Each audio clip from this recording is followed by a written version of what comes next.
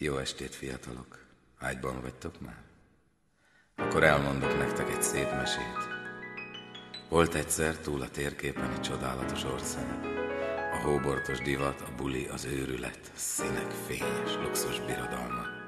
És a csodálatos élet úgy tűnt, soha se ér véget. Ám ekkor történt valami.